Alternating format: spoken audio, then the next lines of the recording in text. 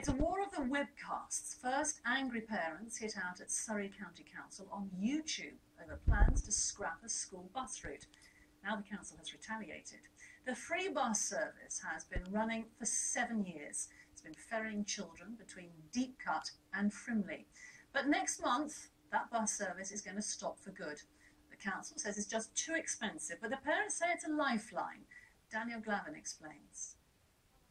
Most of these children are from military families and many moved here mid-term. Their parents say they had to choose the biggest, not the nearest school to get a place. It's a five mile round trip on a free bus, but the bus is going and they've decided to act. The coaches that the children get to school and back every day have been uh, are due for cancellation. They posted this on YouTube showing the long walk they now face. It's took us an hour and ten minutes. It's been an absolute nightmare. They told me they want the council to think again.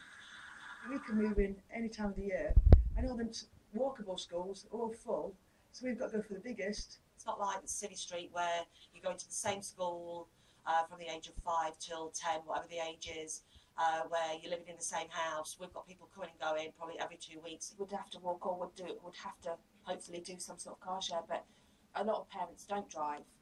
The council issued a response today, also via YouTube, saying the bus service was a temporary measure that started when a school in the village closed. We put on the bus service for pupils who had to go from that school to the Grove.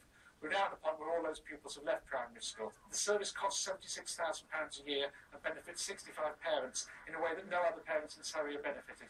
That isn't something we can afford to keep continuing. This could become a war on the web. The parents are already planning podcasts in response.